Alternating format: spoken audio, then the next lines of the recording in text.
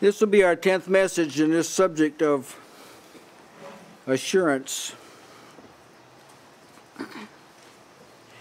The difference between spurious and real assurance.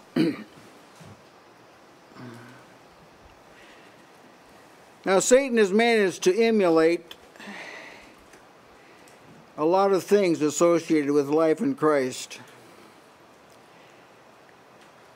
To the unlearned, they look real, but they're not.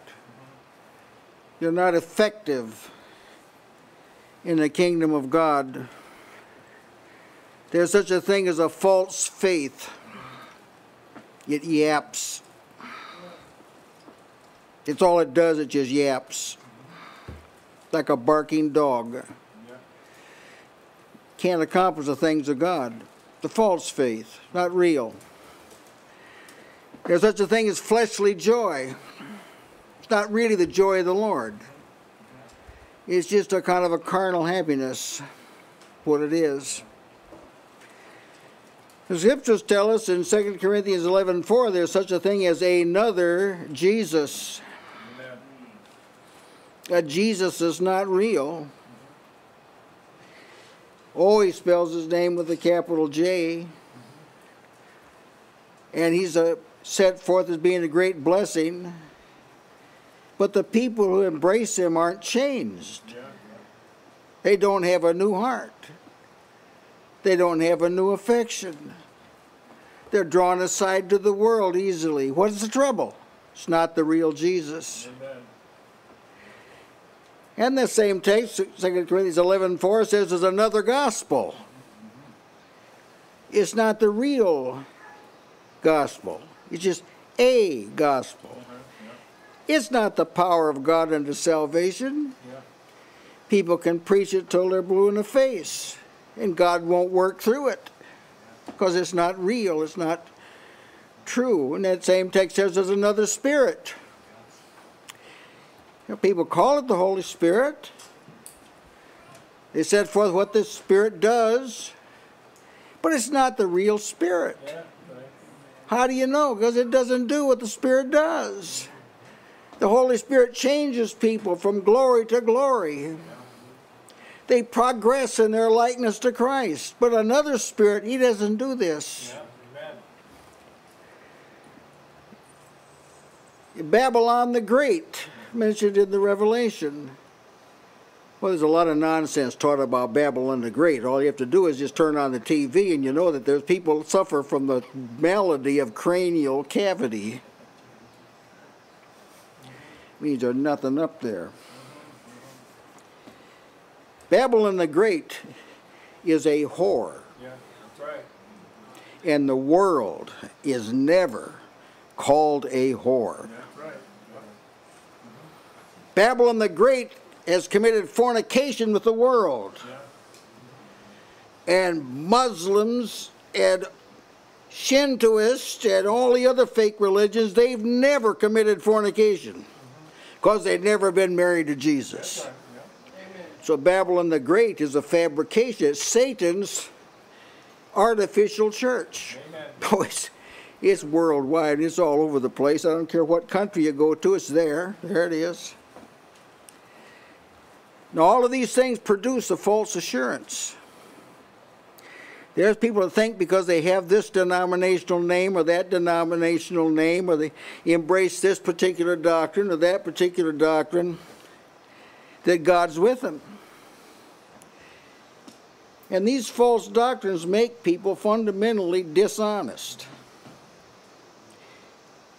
Actually, they're no different than anybody else, and they kind of know it. It's a false assurance. You don't want to wait till you fall apart to find out you have this. You want to have real assurance that when the crisis comes, you got it. That's too late to get it there. You don't, you don't get it, you know. A, a trial is not the time to get faith. time to use faith. Amen. Spurious. Babylon has an elaborate network of doctrines and experiences that do not have the life of God in them. And you go down to the Christian bookstore, I'm beginning to wonder if there is indeed such a thing as a Christian bookstore. But you go down to a Christian bookstore and you got all kind of people got answers. Go to the problem solving section, that's the biggest section of the bookstore. They know how to make a happy marriage. They know how to win souls. They know how to do this and how to do that.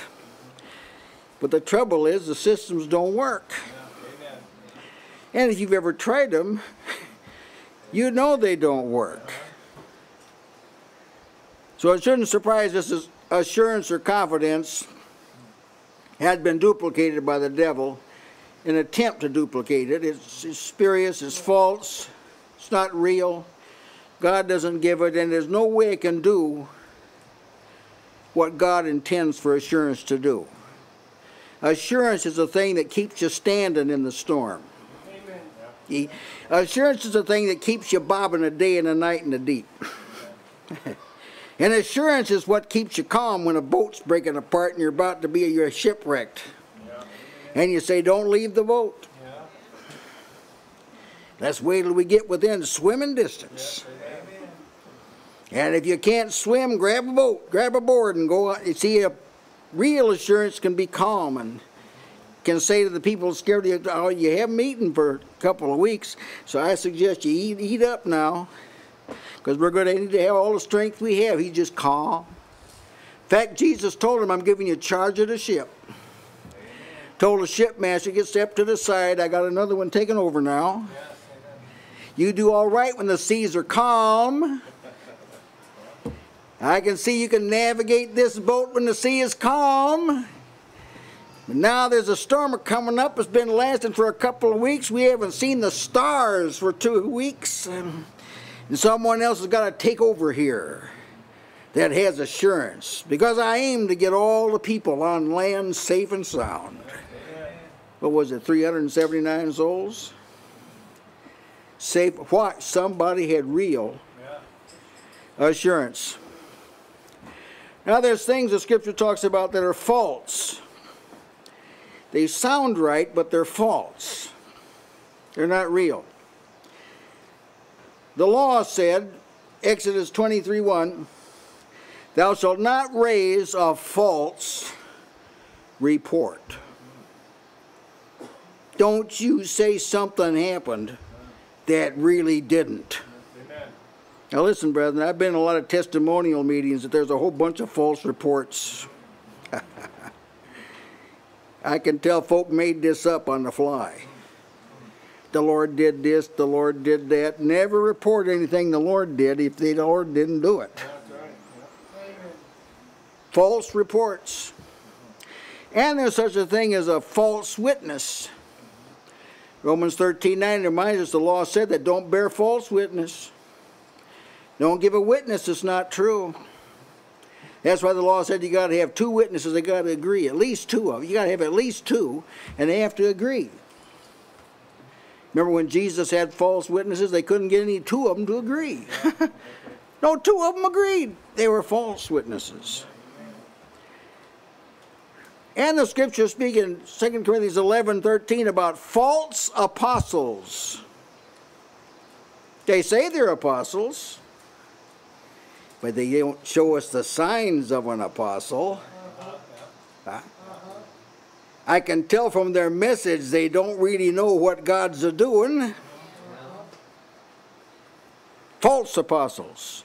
Yeah, I'm showing you here that we've got to deal with things that are spurious. This is like an everyday thing. We got to we got to deal with this. You can't pass laws about this. You got to be discerning. You have to be able to discern, as Hebrews 12 says, discern, uh, 5 says, discern both good and evil. You have to be able to tell that's that's that's evil. Well, that's that's good. That's right. That's wrong. That's truth. That's a lie. I'm not talking about you got to have some people among you that can do this. All God's people have to get to the point where they can tell what's real and what's not. And everything you need to do that now has been supplied in Christ Jesus. You got new life, new spirit, new covenant. It's all there. So you can you have the resources to be able to do this. And Paul said in 2 Corinthians 11 26 that he was in peril among false brethren. now, I know none of you have ever encountered that, have you? False brethren. You divulged yourself to them, you told yourself, then you find, whoa, this is not a real brother at all. False brethren, they're out there. They're a source of suffering. Now, listen, it hurts to have to deal with false brethren. You can get over it, but it hurts. False brethren. John said, Many false prophets are gone out into the world. This is right early. This is early in the history of the church. You can imagine what a flood of them's going out now. Many false prophets. So test the try the spirits to see whether they are of God. That's your business. I don't know how to do it. Well, before the night's over, learn how to do it. You've got to be able to test the spirits because there's lying prophets out there.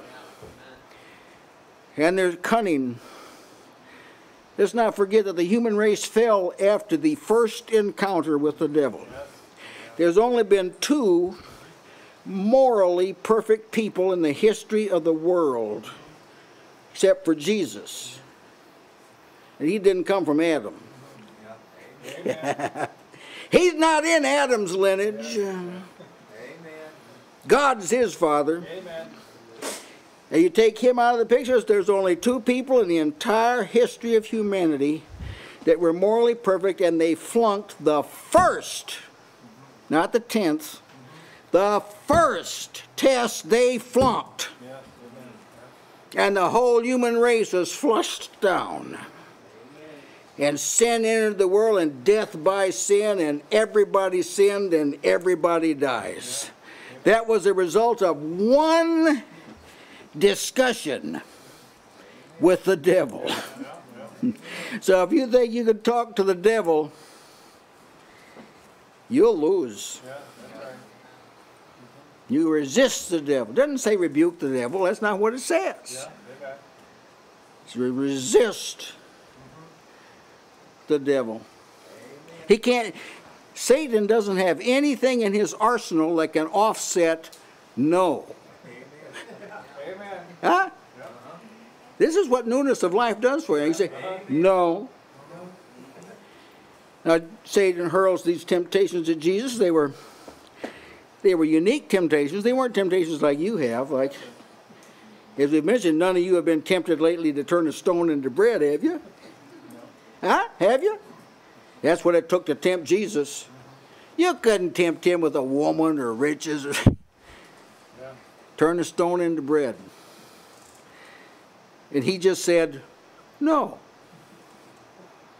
Yeah. what Satan had nothing that could offset that.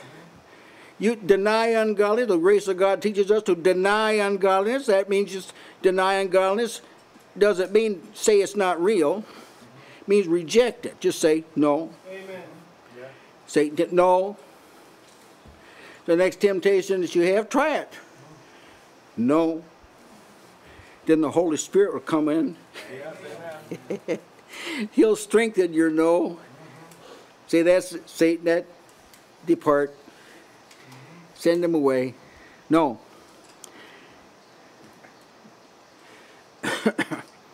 And the scriptures talk about there's lying signs and wonders. Says the man of sin will come in with lying signs and wonders. That doesn't mean they're not signs and wonders. They really are signs and wonders, but they're they deliver the wrong message. They're lying signs and wonders. See?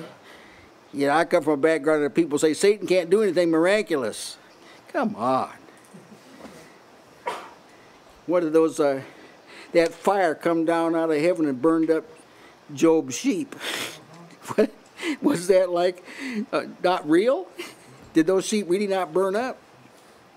Weren't those real boils he had on him? Yeah. Satan did that. That's right. Yeah. It was a lion sign. It suggested God wasn't with him, but there was a lion sign. God was with him. Amen. And we know he was because he recovered from this. Amen. Got twice as much as he had before. That proves Satan, see? He's, he's a liar. Amen. and there are those who say, I love God. Uh, that's me. I love God so much. Well, to be sure, we we hope that is the truth. But 1 John 4.20 says, If a man say, I love God, and hateth his brother, he's a liar. He that loveth not his brother whom he has seen, how can he love God whom he hath not seen? See, that's a, I'm showing that there are false things all around you. You say, who is my brother? Actually, it's Jesus' brother. He's the firstborn among many brethren. So whoever doesn't love the people that are associated with Jesus, and that person says they love God, that's a false brother there. He's not real at all, or she. He's not real at all. So it should not surprise us that there's such a thing, is such a thing as spurious assurance. I want to give some examples of spurious assurance, where the people thought what they were doing was acceptable. They thought they could do it. And early on in human history, the first two offspring, Cain and Abel, in the process of time, as he grew up to a young adulthood, it came to pass that Cain brought an offering of the fruit of the ground unto the Lord. And Abel he also brought of the firstling of his flocks and the fat thereof, and the Lord had respect unto Abel and he, unto Abel. He had respect unto Abel and to his offering.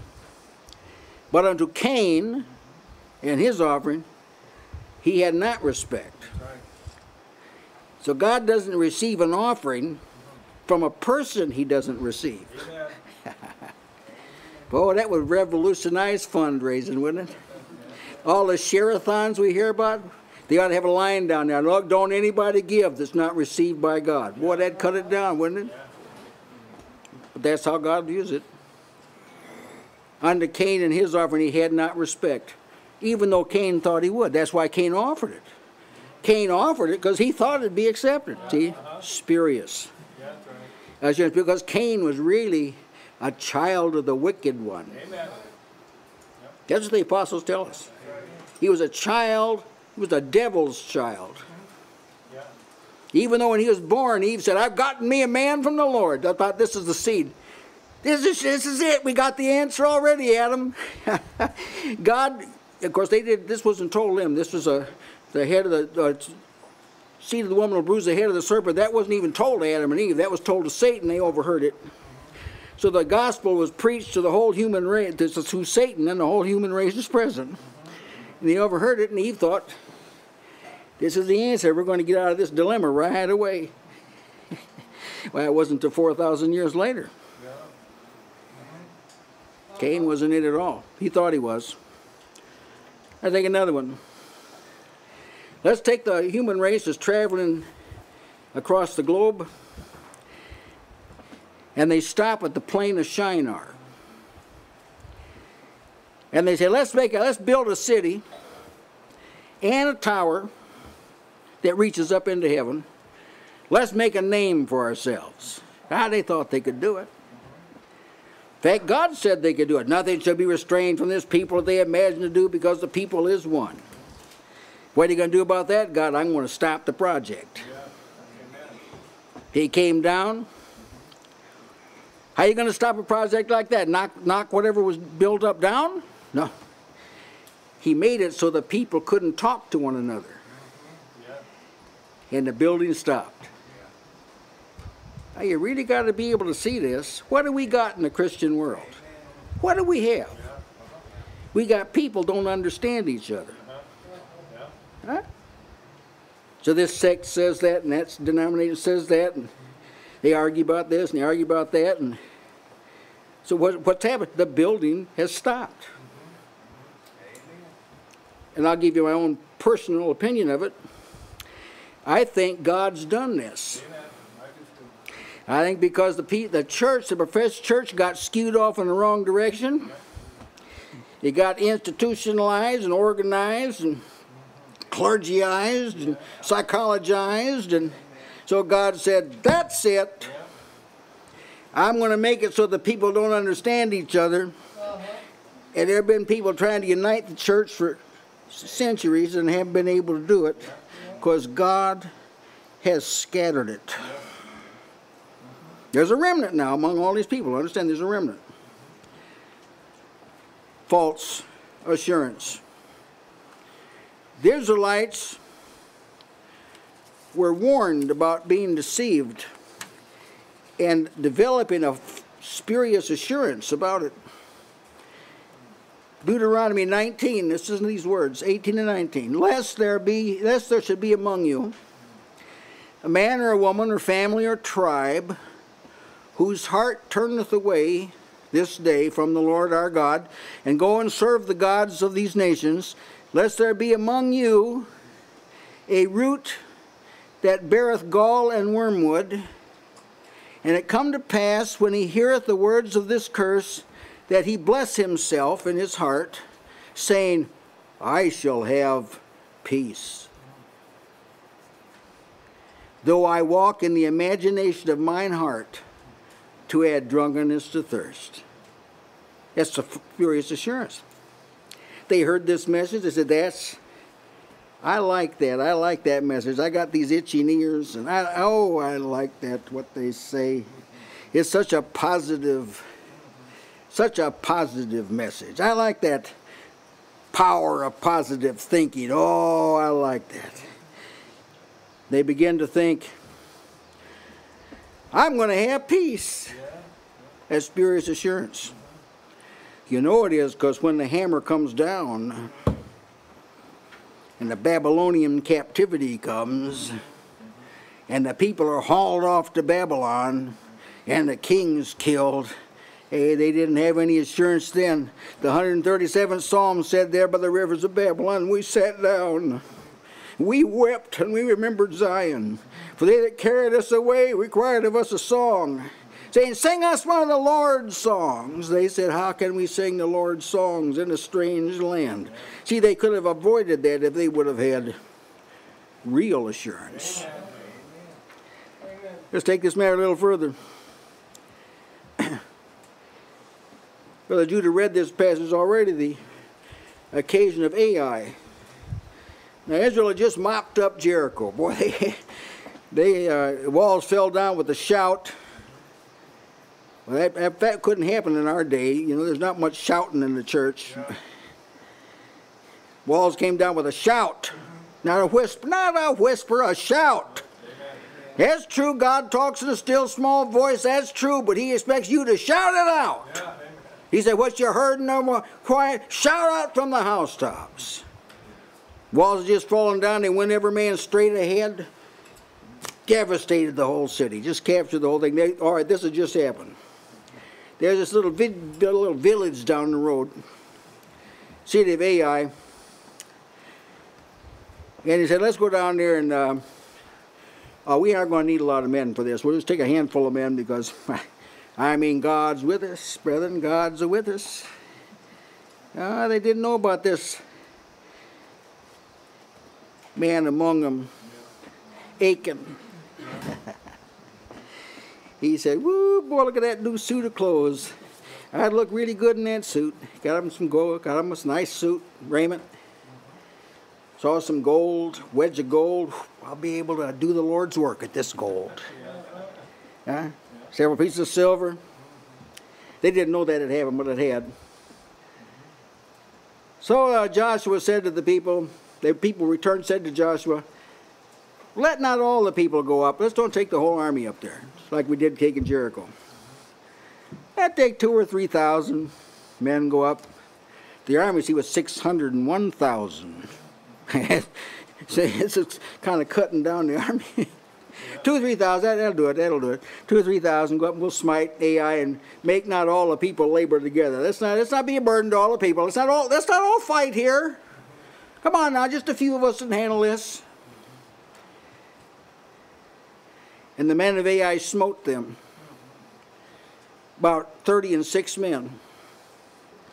For they chased them from before the gate, even unto Shebarim, and smote them in the going down. Therefore the hearts of the people melted and became as water. Whoa, what, what happened? Somebody among them had taken the power. It's just one. It's just one. One person took the power. But the Israelites thought they still had the power. And it took a big overthrow to show them something's wrong here. Said, I maintain we're in a day when the church, when it's defeated, they don't have enough sense to see something's wrong here. Uh-huh. Prayers aren't answered, real power's not there, they just talk it, you know. I've told you there's 160 churches in Joplin, and these combined churches couldn't shut down one porn shop. Why not? No power. All the people that command nature, the people like this, I just commanded the I just commanded the storm. None of them stepped out in front of this tornado, did they? I think this has been an ideal, been an ideal circumstance for these people that are puffing smoke about how much they can do to have hauled in and stood out in front of that tornado and rebuked it and made it turn aside. Nobody did that though. Why didn't they? Well, some people have enough sense to know if you don't have the power, you don't try stuff that requires the power. See? It was a false power. Here's another instance, book of Judges, Samson. Now, Samson had a history of success. Boy, he caught 300 foxes. That's quite a task right there. You ever try and catch one? 300 foxes tied their tails together. That's task number two. Put a firebrand in it and lit it. Let them loose and burn down the fields of the Philistines. Another time he slew a thousand with the jawbone of an ass. So he had some exploits behind him. You remember the case of uh, Delilah? She said, Oh, what's the secret of your strength? I says, I can't tell you. Can't tell you. I love you a lot, honey, but I can't. I can't divulge this. Oh, come on, come on. Said she just heckled him day after day. Broke him down, nagging them about it. Said, if you love me, you'd tell me. And just to finally, he told her. Yes, my hair. If you cut my hair, my strength's gone. Well, you know what happened. She gave the signal to the Philistines, we got him now. Come on in. He was asleep. She said to him, like she said all the other times, the three other times they come in, and he just got up and snapped the bonds he had and went out and defeated them. She said, The Philistines be upon thee. He woke out of his sleep and said, Now here's spurious assurance. He woke out of his sleep and said, I will go out as at other times before and shake myself. And he wist not that the Lord was departed from him. But the Philistines took him, put out his eyes, and brought him down to Gaza, and bound him with fetters of brass, and he did grind in the prison house. False assurance. He didn't know. Do you do you suppose that there are some people who wear the name of Jesus who've lost their strength and they don't know it? Yet the Lord isn't with them anymore because they didn't abide in Him. They weren't bearing fruit. They don't know it and they attempt things that can't be done unless God's with you. I want to take another instance now. This is King Sennacherib, a Syrian king. He'd been sweeping across the country, defeating everybody. Boy, he'd had a resounding success. And the nations he defeated were bigger than Israel was. So he decided to write a letter to Israel. And here's what he told them in a letter to tell Hezekiah the king. Tell him, let not thy God in whom thou trustest deceive thee. saying, Jerusalem shall not be delivered unto the hand of the king of Assyria. Behold, thou hast heard what the kings of Assyria have done to all lands by destroying them utterly, and shalt thou be delivered? Come on now, Hezekiah. You, you, you know, you know that you will. I'll defeat you. Behold, have the gods of the nations delivered them which thy fathers, which my fathers have destroyed, as Gozan and Haran and Rephidim and the children of Eden, which were in Thelasar? Where is the king of Hamath and the king of Arphad and the king of the city of Zeraphim, Hena or Ivah? So he had a lot of assurance, had this string, unparalleled string of victories, but Hezekiah took that letter. He spread it out. He couldn't personally do anything. He spread it out before the Lord. Said, You're the one he's reproached, Lord. The Lord said, Listen up in the heavenly chamber. Listen, we like to have an angel or volunteer here. Just one, one will be enough. Just go down there, and while they're asleep, slaughter the whole army 185,000. Yeah, where was Sennacherib's assurance then? He fled, went back home, and his own sons killed him in the house of his God. Right. He had spurious yeah. assurance. Then there's Asa, King Asa. Hananiah the seer came up to him, came to Asa the king of Judah, and said unto him, Because thou hast relied, thou hast relied on the king of, of Syria, and hast not relied on the Lord thy God. Therefore is the host of the king of Assyria escaped out of thy hand. Well, let's just update it. Let's update it a little bit into our age. You relied on the church growth program. You relied on the 40 days of purpose. Huh? You relied on the celebrate recovery. Huh? You relied on the Bible colleges and you relied on the seminaries. See? What's right up to date, brother? This is right up to date. And whenever you rely on anybody but God, you relied on the doctor. Just well take, take it all away. as soon as you do that, God backs away. And you're on your own. He's going to show you. I may use all these people, but you're not to rely on them. You're to rely on me. Spurious assurance. How about this word from Job? He said, The deceived and the deceiver are his. The deceived and the deceiver are his. Deceivers can't make a move unless God says, okay. In fact, God says He's going to send strong delusion. People don't believe a lot. People don't believe that or love the truth because they receive not the love of the truth that they might be saved. God's going to send them strong delusion, and they will believe a lie that God can damn. All those that love not the truth but had pleasure in unrighteousness. Hmm? Spurious assurance. How about the confidence of the wicked? They they sometimes have a spurious assurance. Psalm 10 6 says of the wicked, He has said in his heart, I shall not be moved. I mean, my name's Donald Trump. I have billions of dollars. Who's going to move me? I shall not be moved. For I shall never be in adversity. Spurious assurance. How about this spurious assurance? Psalm 27 Some trust in chariots. We are the strongest military in the world. Oh, yeah, I, I fear and tremble every time I hear these politicians say this. We're the strongest nation. We've got the strongest military presence. Some trust in chariots and some in horses, but we will remember the name of the Lord.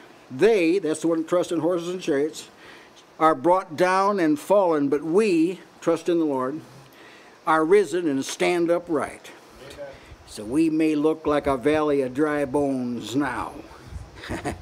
but when this thing is over, we're going to stand up an exceeding great army. The assurance makes you see. We know that the church is in bad shape. Everybody that's honest knows that the professed church is in bad shape. We're not about to throw in the towel. Amen. We're not about to say, I quit. We've got assurance. We know how this thing's going to end up. And it may be very shortly. How about this false or spurious assurance? Psalm 33, 16. There's no king saved by the multitude of a host. A mighty man is not delivered by much strength. A horse is a vain thing for safety, neither shall he deliver any by his great strength. Okay, you could throw bombs and satellite bombs and missiles, and you could throw all that in there. See, I don't see a lot of assurance in the modern church. I see them joining in the political, trying to correct things with political votes and things like this. This is not the answer. In the first place, we got a form of government that's not even in the Bible. Just in case you wondered. The only kind of government's in the Bible is a dictatorship. Why? Because that's the kind of government God operates. He's the Lord of Lords and the King of Kings, and He does what He wants. And if you don't like it, you can lump it. That's the way it is. But some trust in that as uh, false assurance. You can have a personal attitude that sounds strong and it sounds good if you're a psychiatrist. You can say like Psalm 40 verse 44 verse 6, well this is a positive statement of the case. It says I will not trust in my bow neither shall my sword save me. So I may be pretty adept at polemics and arguing and this sort of thing. And I may be able to stand toe to toe with anybody and really debate this thing out. But I'm not going to I'm not going to trust in that. Just a false assurance. What about wealth? Psalm 49 6 says, They that trust in their wealth and boast themselves in the multitude of riches. They trust in their wealth. Psalm 52 6. This is the man that made not God his strength, but trusted in the abundance of his riches. Here's what Paul said to rich Christian people Charge them that are rich in this world that they be not high minded nor trust in uncertain riches. There it is, see, there it is. I've showed you in these uh, few texts that there is such a thing as a spurious assurance. Here's one. Jesus had been up on the Mount of Transfiguration. Just to show that every disciple doesn't have the same privilege, he only took three of the twelve up there with him Peter, James, and John. Those are the same three he took with him a little further in the garden. Those are the same three he took with him into the house of Jairus, raised his daughter. They saw him transfigured. His face was glistered and white, the skin of his face. It was the inner glory coming out. See, for man to get glory, it's got to come down on him. But Jesus' glory was in him, and it kind of burst out. After the events, they're coming back down the mountain. Wouldn't you know it, down to the foot of the mountain, they got a crisis. Been a man there that has a demon possessed son. Pitiful, pitiful condition. This demon would throw the son in fire, make him jump in the fire, jump in the water. Even while Jesus was talking to the man, the, the boy falls down, wallowing on the ground and foaming at the mouth. Jesus looks at the boy, wallowing and foaming at the mouth. He says, uh, How long has he been like this? Now, you only someone in charge of the situation can, can talk like that. Everybody else would be, be a big, be, their nerves would be frazzled. He said, How long? Uh, well, he said, since he's been a boy. He says, oh, he said to Jesus, if you can do anything, if, if you, if, if, if you can do anything, oh Lord, help us. Jesus answered, if I can do anything, if you can believe, all things are possible to him that believeth. Well, you know the account. He, he healed the boy. The disciples noted all this. Now, scriptures tell us that man first brought the, brought the boy to the nine disciples that were left. Now, they had a, a lot of success casting out demons. In Matthew, the 10th chapter, Jesus sent them out and they cast out demons. Demons were subject to them. So I could just imagine, it's just another one of those cases. Don't worry about it. Jesus isn't here, but don't worry. I mean, we've cast out demons before. It hadn't been that long ago, so we'll handle this case, but they couldn't cast them out. Yeah, yeah. They had a spurious assurance. Yeah. So when they got, got a little way down the road, they said, why couldn't we, why couldn't we cast them out? Oh, he said, because of your unbelief. You were dealing with a different kind of case here. This kind of demon doesn't come out except by prayer and fasting. You, you, you can't use a standard approach to this. See, false assurance sometimes makes you think that every circumstance is the same, and because you had success then, you'll have success now. But that's not uh, that's not the case. Then, of course, there was this vain assurance of the prophets of Baal. You remember them? They just knew Baal was going to answer them. They built an altar, altar, slaughtered an animal, laid them up on there, and they got up on that altar, man. They began to pray, and you know, nothing happened. They began jumping up and down. They cut themselves with knives, you know. Elijah mocked him. He says, Maybe your God's away on a trip someplace. Listen, brother, you can agitate the ungodly. Say, hey, you've been trusting in all this and that. Why isn't it working for you now, huh? That's what he did. These prophets had false, spurious assurance. Now, in our day, there's a lot of confidence that rests in, like, creeds. If you believe the right set of things, yeah, like, that's the secret. Just so you know, we got this. Uh, got this manual here. It's a little, little bitty manual too, but it tells you what we stand for. yeah, it is here. If you just can do this, uh, you'll be approved. Man, at the time when I was uh, working at the Full Gospel Businessmen's Group, man came to me and he said, uh, do you belong to a full gospel church? And I said, well, I'll, I'll, be right up front with you. The church that I've been associated with is a half-gospel church. but I said, you are too. You're not preaching the whole gospel. Because you got just as many sick people as we do. I go down the hospital down here. I say, is anyone here from the Assembly of God? Well, oh, yeah, well, oh, yeah, we've got a lot of people, a lot of people here. Say, yeah. Yeah, we do too. So don't be telling me about how you got the power if you got the same circumstances we got. That's a false assurance. But see, they offer the people, I don't blame the people that are caught in this.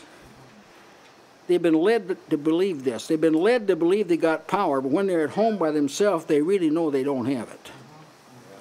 And I can tell you, if you got the power, you really have it. The only reason you have it is because God gave it to you.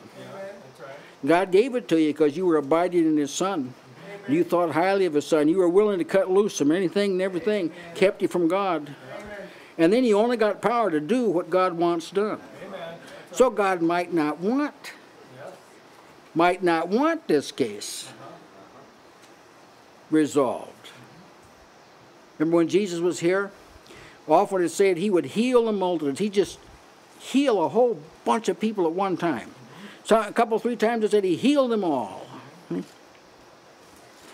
Jesus hadn't gone back to heaven. He wasn't gone very long till a whole bunch of sick folk are brought into Jerusalem. And Peter, remember his shadow fell on him? So Jesus didn't heal all the sick people, did he? He come to the pool of Bethesda, and the scripture says the porch was there was had five porches, and they were filled up with impotent folk. He stepped over all of them and went to one person. Now here's what I'm telling you. If you have the kind of assurance you can have in Christ, you'll be able to find that one person. You may wish you could have found five or but there are some generations, there are just a very few people that God will let, let see this because it's a degenerate generation. But you can find them if you have this full assurance of faith. See, the full assurance motivates you to have a hope to the end. You're not looking at the circumstance, you're looking at the end. When everything's over. And you stand at the right hand of the Lord Jesus. Amen. And you hear these words, no matter what men thought of you, no matter what men thought of you, he'll say, Well done, well done, good and faithful servant. He'll say to Paul, You got beat a lot of times, and it looked like you were a loser to a lot of people, huh? But you did good, Paul. You left an example for my people to see. My people can see if you just hold on to Christ the important thing isn't to overcome what you're facing now. The important thing is to be on the winning end when it all ends. Amen. And assurance is designed, it's a full assurance of hope unto the end.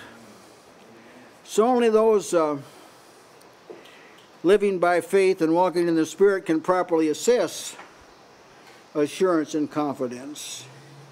It's good to search your heart, probably in the prayer chamber. See if you have some evidences of assurance, things like you just, you just know. now I know how to swim. I'm not a champion swimmer, but I know how to swim. So if I uh, fell in the in a spring river, someplace where it was really deep here, I wouldn't have to say, let's, would I? I haven't swam in so long, I wonder if I, if I still can swim. See, I know I know how to swim. That's the way assurance is. There'll come a trial and you won't have time to assess, do I? I wonder if I'm able to stand right. You won't have time to do that. That you got to find that out before the trouble. When you have the full assurance of faith, you'll be able to grit your teeth and say, I'm going to stand.